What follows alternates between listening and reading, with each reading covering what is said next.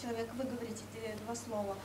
А, э, Естественно, телевизионная, это э, телевизионные имеют свою специфику, поэтому нужно как-то э, заинтересовать народ, чтобы э, картинка была у нас яркой, красивой и эмоциональной, потому что человек э, в первую очередь э, он слышит текст примерно в 20% воспринимает, а самое главное для него это картинка.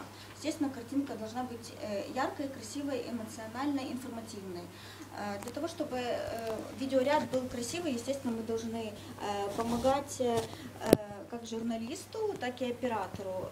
В связке, в связке журналист-оператор